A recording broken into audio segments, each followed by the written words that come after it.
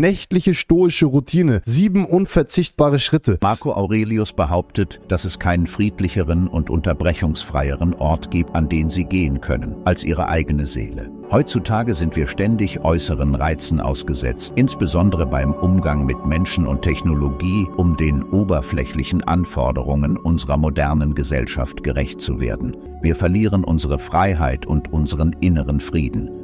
Wow. Marco Aurelius sagt uns, dass es beschämend ist, wenn ein Mann alt wird, ohne die Schönheit und Stärke zu sehen, zu der sein Körper fähig ist.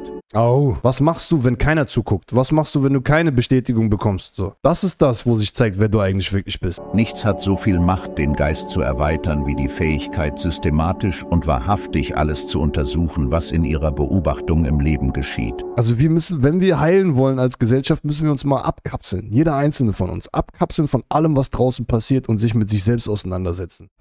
Ich liebe euch alle, egal ob ich schwarz oder weiß, denn ich spielt keine Rolle. Yo, was geht ab, meine lieben Freunde? Willkommen zu einer weiteren Reaction auf Leon Lovelock Highlights und ich hoffe, bei euch zu Hause ist alles gut. Wir werden uns jetzt mit dem Thema Stoizismus auseinandersetzen. Das Video habe ich gestern gefunden auf spontan. Ich ziehe mir viele Motivationsgeschichten rein und dann wurde mir das an der Seite angezeigt. Und zwar heißt das Video Nächtliche stoische Routine. Sieben unverzichtbare Schritte. Ich habe mir den Anfang davon reingezogen und ich fand es sehr inspirierend, sehr motivierend auch und äh, ich glaube, das kann einigen Leuten helfen. Daumen nach oben da lassen, Kommentärchen schreiben und den Kanal abonnieren. Rumble, erster Link in der Beschreibung. Du weißt schon ganz genau, wie das läuft. Und jetzt wird inspiriert. Los geht's. Marco Aurelius behauptet, dass es keinen friedlicheren und unterbrechungsfreieren Ort gibt, an den sie gehen können, als ihre eigene Seele. Ziehen sie sich zurück, um ihre eigene Seele zu konsultieren. Facts. Guck mal, wie der da sitzt, so. Maschine. Feier ich. Also diese griechischen, diese griechischen, ähm, was sind das? Wie, wie bezeichnet man die?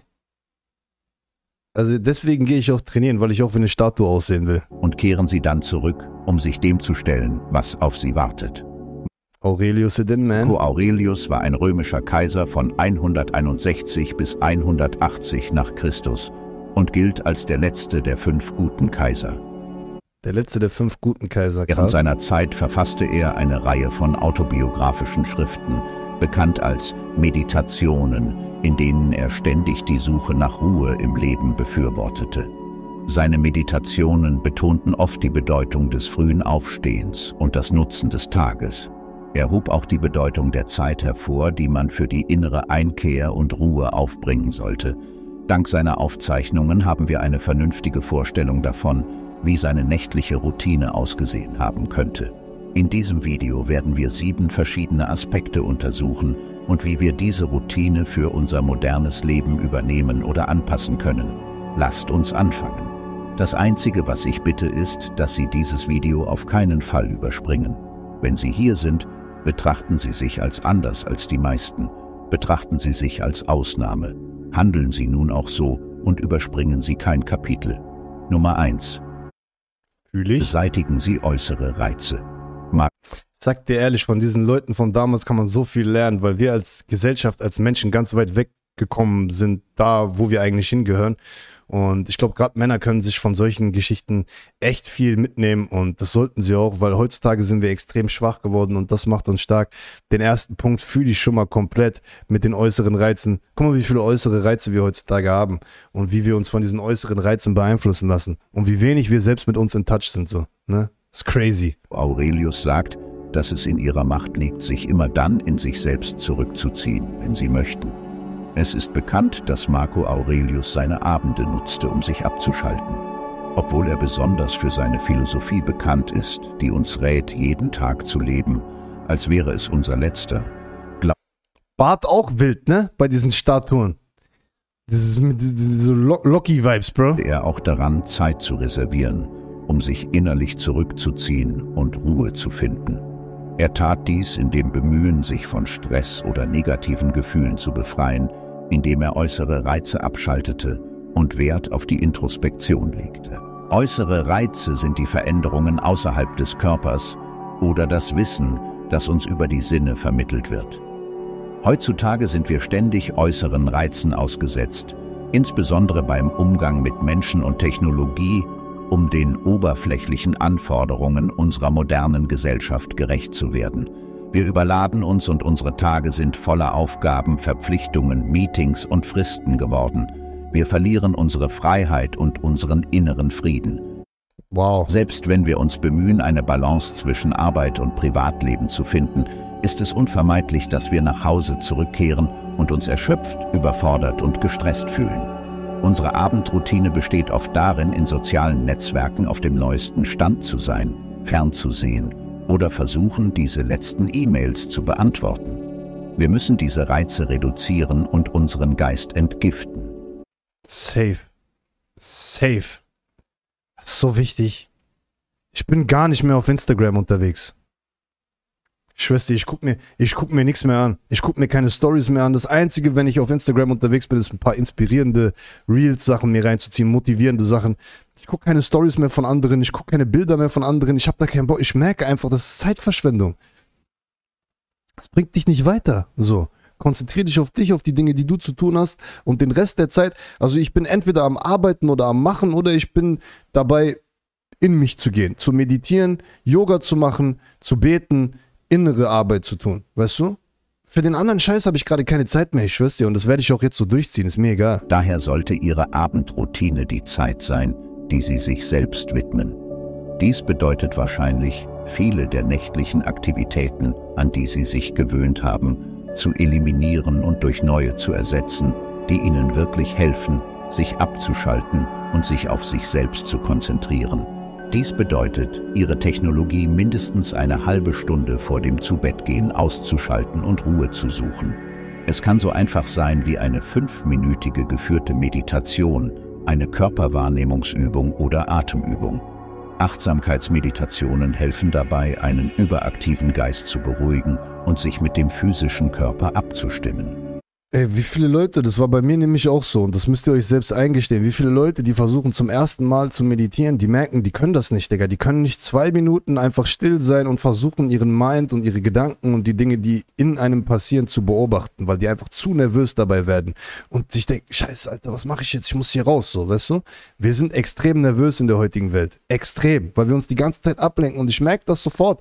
Ey, ich sag dir ehrlich, wenn ich nicht vom Internet und von, von diesen ganzen Dingen leben würde, dann würde ich gar nicht so viel damit mehr machen. Weil ich merke sofort, ich habe ja mein Handy auch auf Flugmodus, bevor ich schlafen gehe und ich mache mittlerweile auch WLAN, ziehe ich raus und so. Und am irgendeinem Punkt, wenn ich meine Morgenroutine fertig gemacht habe, mache ich das Handy dann an und ich merke sofort, wie das einen Einfluss auf mich hat. Nur wenn das Handy an ist dann kriegst du Nachrichten, dann kriegst du Benachrichtigungen, dann kriegst du das, dies, dann schreibt der das, dann schreibt das, dies. Also du, du wirst sofort dann wieder beeinflusst und hektisch und nervös gemacht. So. Diese Art der Meditation kann eine Flucht in uns selbst sein. Und die Auswirkungen der Integration in die Abendroutine können unglaublich vorteilhaft sein. Meditation ist bekannt dafür, Ängste zu reduzieren, die Stimmung zu verbessern und den Schlaf signifikant zu fördern. Ihre Schlafroutine sollte eine Pause von der geschäftigen Welt und eine Zuflucht zu ihrem ruhigen Ich sein. Obwohl es verlockend sein mag, Serienmarathons anzusehen, Videospiele zu spielen, sich mit Freunden zu treffen oder in sozialen Netzwerken zu scrollen, ist die Wahrheit, dass diese Aktivitäten Ihnen nicht dabei helfen, Ruhe zu finden. Tatsächlich lenken sie sie eher davon ab. Und es ist auch eine Art von Sucht, meine lieben Freunde, ne? Das muss man ganz klar so sagen. Es wird am Anfang nicht einfach sein, damit aufzuhören. Ich habe es selber bei mir gemerkt. Es ist eine Art Sucht, so und die loszulassen kostet auch erstmal ein bisschen so, aber es geht schnell. Wir Menschen sind Gewohnheitstiere. Wir können schnell so eine Süchte auch loswerden. Wir müssen es halt einfach wollen. Du musst es wollen, weil du selber mit dir in Verbindung sein möchtest, ruhiger sein möchtest, weniger Angst haben möchtest und mehr normaler, echter Mensch sein möchtest, so. Und wenn das Warum groß genug ist, kannst du alles durchziehen. Obwohl der Schlaf wichtig ist, reicht er oft nicht aus, um sie nach einem anstrengenden Tag wiederherzustellen. Eine wirklich entspannende Abendroutine muss etwas enthalten, das es Ihrem Geist ermöglicht, abzuschalten. Nummer 2. Betreiben Sie körperliche Bewegung. Marco Aurelius sagt uns, dass es beschämend ist, wenn ein Mann alt wird, ohne die Schönheit und Stärke zu sehen, zu der sein Körper fähig ist. Oh. Obwohl Marco Aurelius vor fast 2000 Jahren lebte, verstand er die Bedeutung körperlicher Bewegung. Er glaubte, dass ein gesunder Geist ohne einen gesunden Körper nicht existieren kann. Facts. Das hängt unmittelbar miteinander zusammen. Geist, Körper und Seele. Das ist eins. Das eine kann ohne das andere nicht funktionieren. Und deswegen ist es voll wichtig, auf allen Ebenen zu versuchen, sich weiterzuentwickeln und stark zu sein. Weil es wird immer einen direkten Effekt auch auf die anderen Ebenen haben. So. Strong Mind, Strong Body. Die Alten wussten, dass selbst eine einfache Trainingsroutine uns Tugenden für das Leben lehren kann, wie Ausdauer, Selbstentwicklung, Disziplin, Überwindung von Herausforderungen und Selbstvertrauen aufbauen. Sie verstanden, dass es wichtiger war, sich zu bewegen, um diese hochentwickelten Fähigkeiten zu erlangen, als nach externer Zustimmung zu streben. Unabhängig davon, was die Medien uns glauben machen, wussten die Alten schon damals, dass der Versuch, einen perfekten Körper nur zur Schau zu stellen, selten zu wahrhaftem Glück führt. Oft vermeiden wir aus verschiedenen Gründen körperliche Bewegung, indem wir Ausreden verwenden wie ich bin zu müde, ich habe... Ich habe schon immer trainiert wegen mir selbst so, ne? Ich schwör's dir, ich will nicht wegen anderen Leuten mir einen, einen starken Körper aufbauen. Ich, ich will das wegen mir wegen mir, weil ich stolz auf mich sein will, weil ich weiß, dass körperliche Betätigung einen Effekt auf meinen Mind hat und auf alles andere, was ich tue. So. Ich mache das nicht wegen irgendwie, damit ich gut bei dem ankomme, bei Frauen ankomme oder äh, Bilder posten kann und so. Das merkst du doch. Wie lange poste ich schon nicht mehr regelmäßig irgendeinen Content und so? Wie, wie wenig zeige ich euch, dass ich eigentlich jeden Tag Sport mache, so weißt du? Ich mache das für mich, Digga, und nicht für irgendwelche anderen Leute. Und das ist das, was zählt. Was machst du, wenn keiner zuguckt? Was machst du, wenn du keine Bestätigung bekommst? So. Das ist das, wo sich zeigt, wer du eigentlich wirklich bist. Morgen ein wichtiges Meeting und möchte nicht schmerzen. Oder ich bin so gestresst bei der Arbeit, dass ich nicht einmal an Bewegung denken kann. Obwohl viele von uns aus verschiedenen Gründen körperliche Bewegung vermeiden, hat sie unglaubliche Vorteile für die physische und mentale Gesundheit und wir sollten sie nicht vollständig aus unserer Routine streichen. Jede Form von Bewegung, sei es Sport treiben oder ins Fitnessstudio gehen, ist vorteilhaft, da sie eine Flut von chemischen Substanzen im Gehirn freisetzt, die uns ein gutes Gefühl verleihen, bekannt als Endorphine, die den Stress reduzieren und die Stimmung verbessern. Wenn Sie abends trainieren, kann dies sogar dazu beitragen, dass Sie schneller einschlafen und sich erfrischt fühlen. 3. Überprüfen Sie Ihren Tag gemäß den Anweisungen von Marc Aurel. Nichts hat so viel Macht, den Geist zu erweitern, wie die Fähigkeit, systematisch und wahrhaftig alles zu untersuchen, was in ihrer Beobachtung im Leben geschieht. Die antiken Philosophen glaubten, dass die beiden besten Zeiten für die Reflexion der Morgen und der Abend waren. Bereiten Sie sich auf den kommenden Tag vor, indem Sie morgens Ihre Gedanken in einem Tagebuch festhalten und den vergangenen Tag überprüfen. Marc Aurel schrieb seine Meditationen mit der Absicht, sein tägliches Leben und seine Gedanken zu analysieren, um persönliche Klarheit zu erlangen. Wichtig. Da kommen auch diese Dinge her, die ich jetzt leider auch schon länger nicht mehr gemacht muss wieder. Das ist, glaube ich, ein Reminder für mich auch das Video, dass ich wieder anfange, meine, meine Journale zu schreiben, so weißt du? Weil Aufschreiben sehr powerful ist.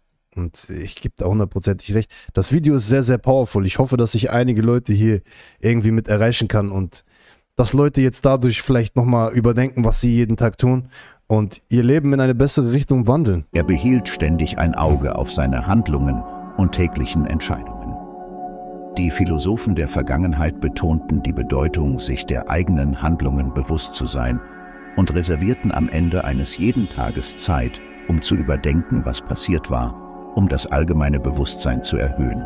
Sie nannten diese Art der Aufmerksamkeit eine Aufmerksamkeit, die darauf abzielte, Selbstbewusstsein für ihre Handlungen zu schaffen und zu überprüfen, ob sie mit ihrem höheren Selbst in Einklang standen. Einige verglichen diese tägliche Reflexion mit der Präsentation muss mal überlegen, wie deep die Leute damals waren, weißt du, was ich meine? Und jetzt guck mal heutzutage, was die meisten Leute verbreiten. Ich fühle mich zu solchen Menschen viel mehr zugehörig, also zu dem, was hier jetzt gerade über ihn erzählt wird. Ich fühle mich mit diesen Menschen viel mehr in Touch als mit allem, was heutzutage stattfindet. So. Deswegen mache ich mein Ding alleine. Ich kann mich mit niemandem da draußen mehr identifizieren.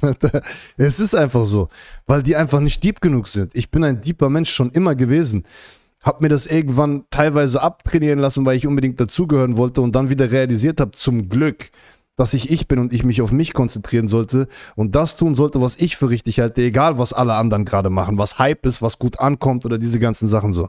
Weißt du? Crazy. Eines Falls vor einem Gericht. Sie erinnern sich an ihren Tag und bewerten ihn, indem sie ihre täglichen Handlungen und Entscheidungen analysieren und sie dann systematisch überprüfen.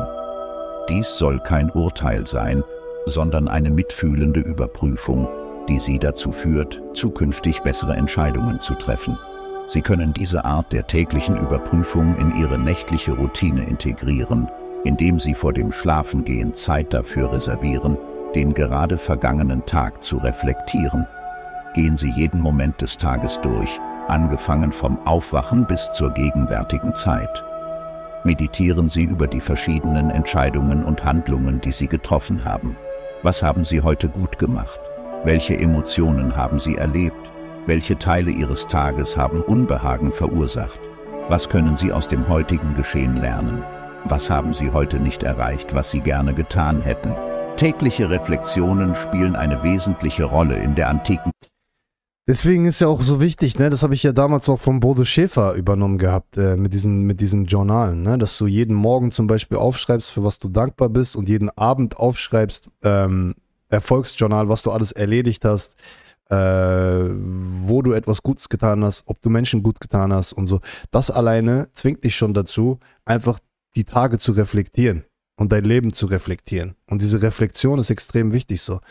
Weil sonst verlierst du dich draußen in der Welt, wenn du dich nicht selbst reflektierst. So, es ist wichtig, dass du mit dir selbst, mit deinen Gefühlen, Emotionen, mit allem, was passiert ist, mit deinen Entscheidungen und so in Touch bist, damit du in Zukunft halt bessere Entscheidungen triffst, falls du in der Vergangenheit falsche Ent Entscheidungen getroffen hast. So.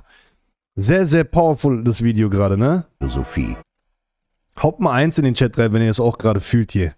Sie helfen uns, uns auf den nächsten Tag vorzubereiten, indem wir festhalten, was wir heute gerne getan hätten.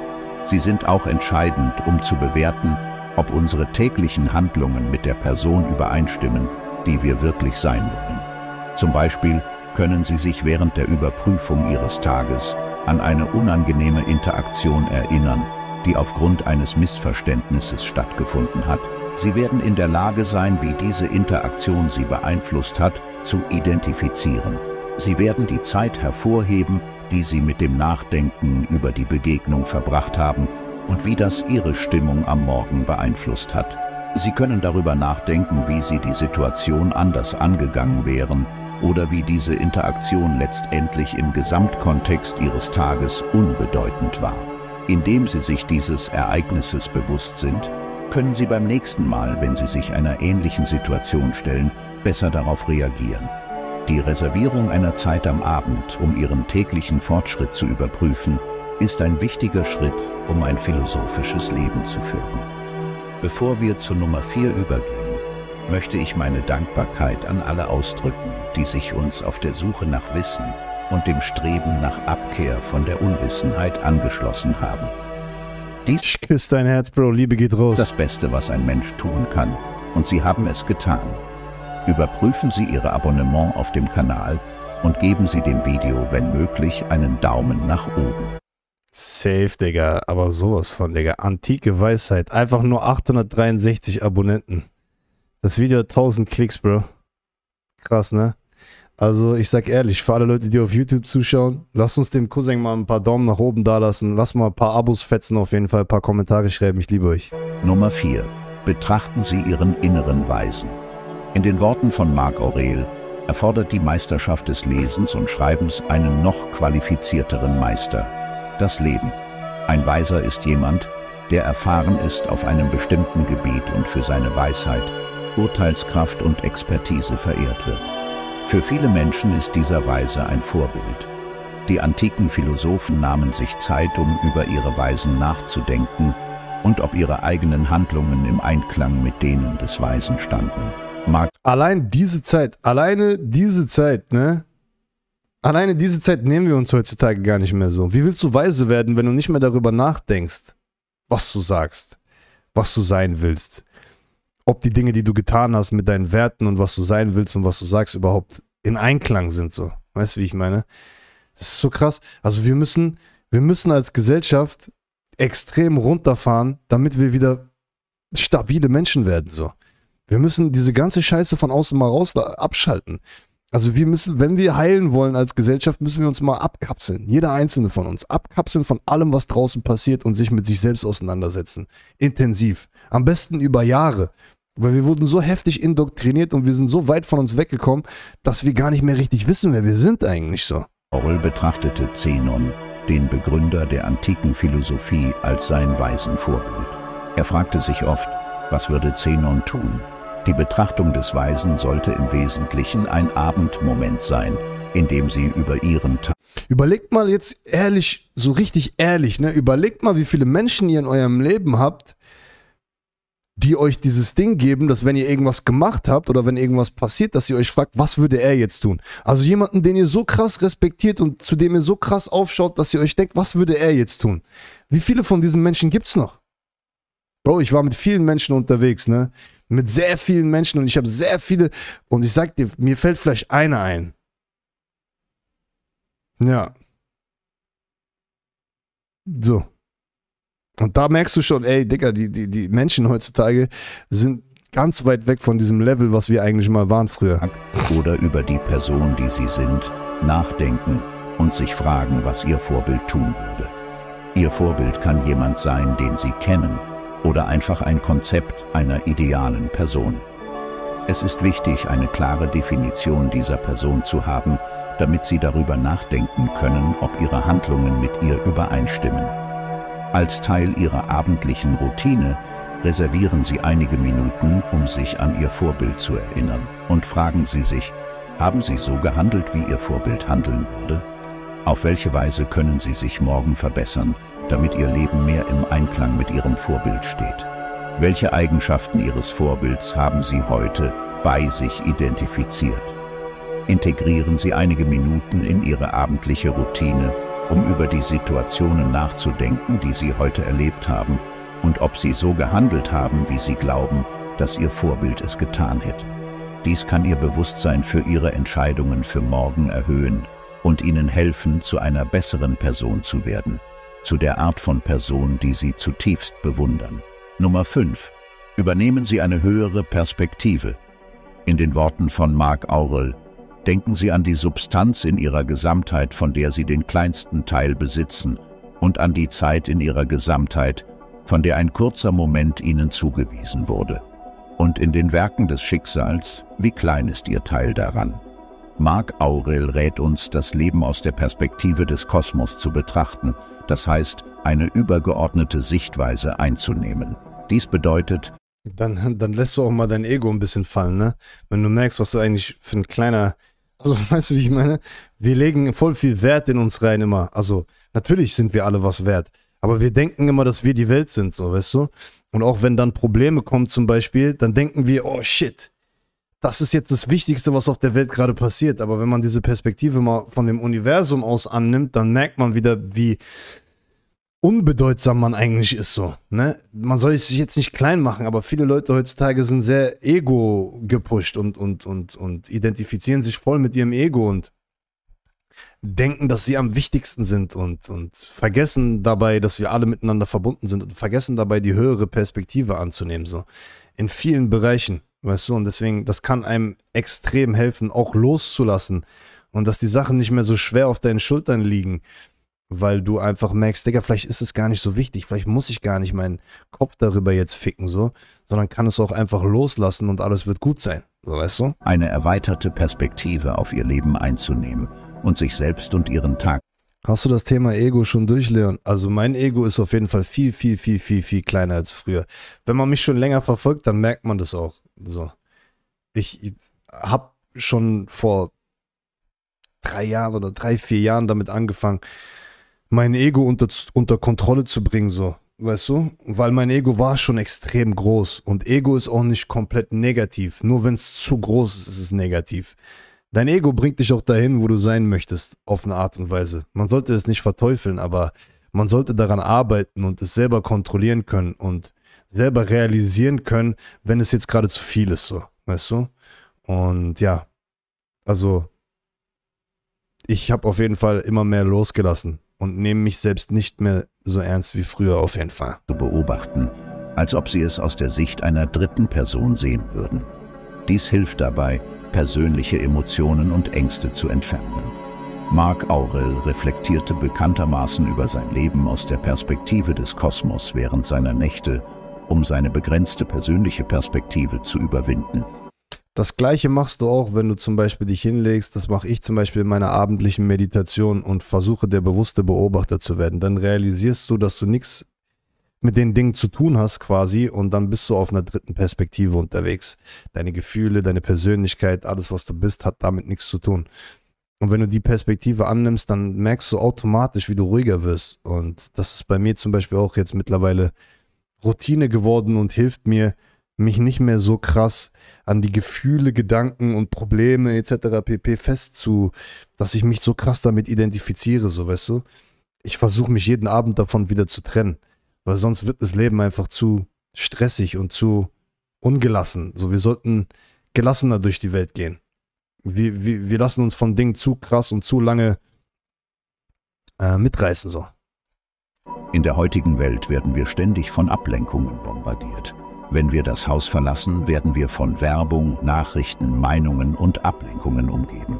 Selbst wenn Safe. wir nicht arbeiten oder BI der Familie sind, sind wir oft am Handy, hören Radio, schauen fern oder benutzen den Computer. All dies führt zu Boah, Digga, so. Siehst du den, wie der da steht? Oder sitzt oder was auch immer, Digga. So. So, Bro. Feier ich, Alter. geistiger Erschöpfung und macht es schwer, Raum zum Denken und Atmen zu Stark, Junge. finden.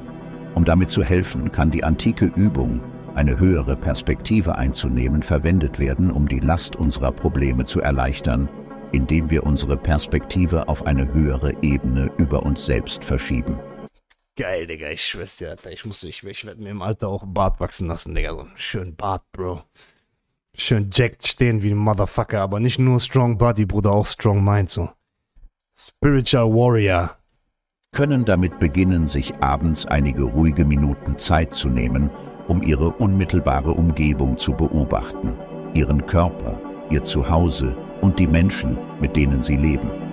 Beginnen Sie dann darüber nachzudenken, wie Sie sich fühlen, wie Sie sich mit ihnen verbinden.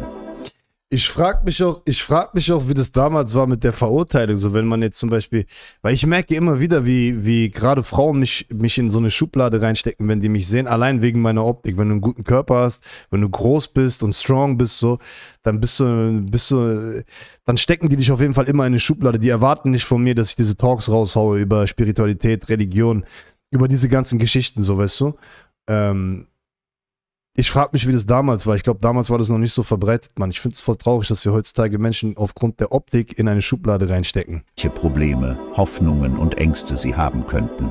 Erweitern sie ihre Sichtweise, um ihre eigene Stadt zu sehen und wie alle Menschen um sie herum ein einzigartiges Leben haben, von dem sie nichts wissen. Erweitern sie ihre Perspektive weiter, um ihr Land zu sehen, dann das Sonnensystem, das Universum und die Gesamtheit des Seins. Wenn wir uns von oben betrachten, erkennen wir, dass wir Teil eines größeren Ganzen sind, Teilnehmer an allem, was uns umgibt.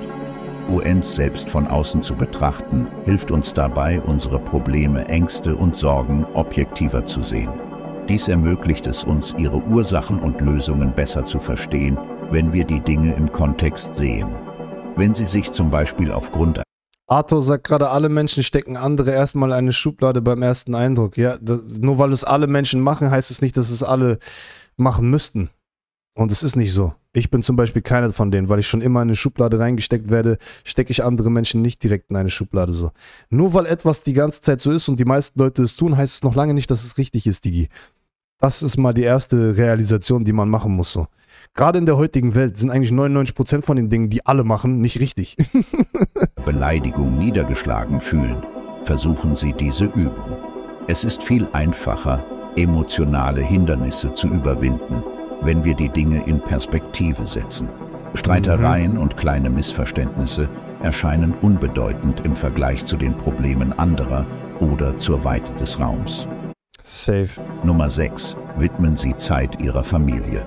Marc Aurel sagt, diejenigen, die länger leben, Und diejenigen, die bald sterben werden, verlieren dasselbe.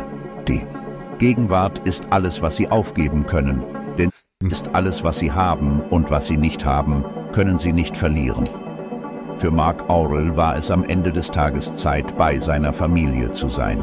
Auch wenn er wichtig, berühmt und extrem beschäftigt war, ignorierte er sie nicht. Er liebte offensichtlich seine Kinder und seine Frau sehr. Abends brachte er seine Kinder ins Bett und küsste sie, während er leise zu sich selbst sagte, Eile nicht, es könnte das letzte Mal sein, dass du das tust. Uh. Es ist nicht garantiert, dass ihr beide die Nacht überleben werdet. Er schätzte diese ihm gegenüberliegende Sache, die das Wichtigste in seinem Leben war, und wünschte wiederholt eine gute Nacht während der Zeit, die er das Glück hatte, zu leben. Die antiken Philosophen verwendeten die Betrachtung des Todes als eine Übung, um sich selbst an die Vergänglichkeit des Lebens zu erinnern. Eine in Australien bekannt beliebte Krankenschwester, die sich um sterbende Patienten kümmerte, sagte, dass einer der häufigsten Reuepunkte von Menschen, die sterben, der Wunsch ist, mehr Zeit mit der Familie verbracht zu haben. Ja. Ja.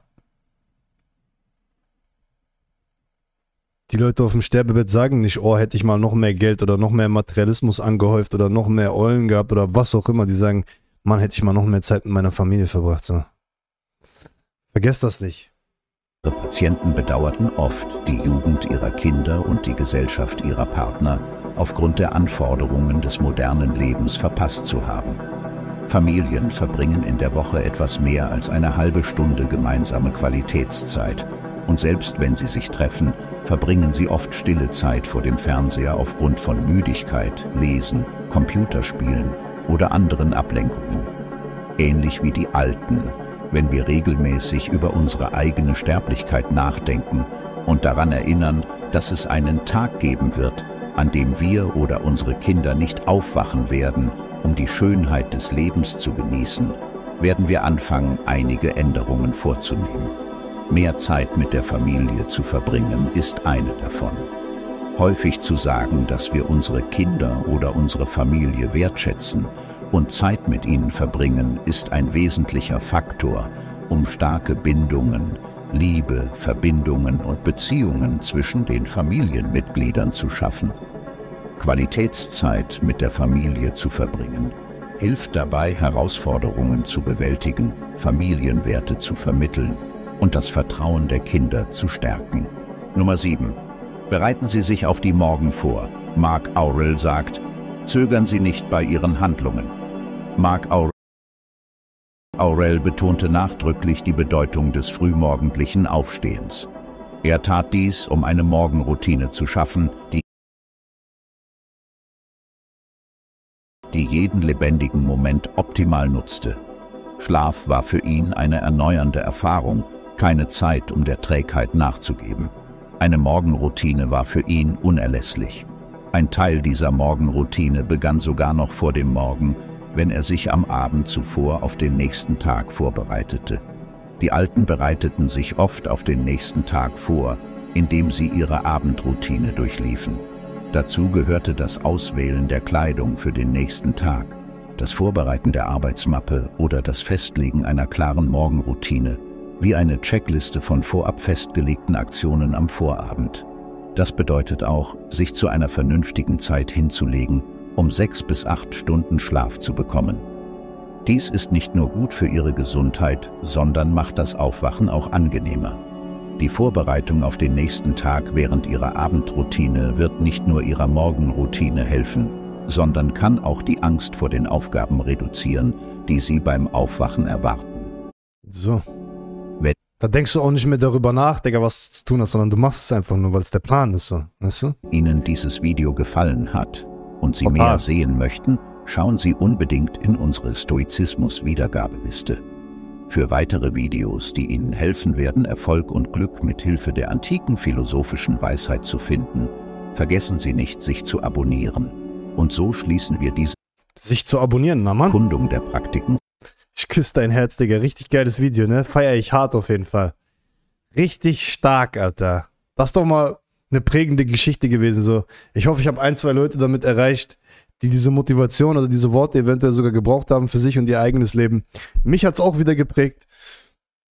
Ich habe zum Glück schon ein, viele Dinge, die äh, hier erzählt wurden, in meinem eigenen Leben etabliert, aber da ist definitiv auch noch Luft nach oben.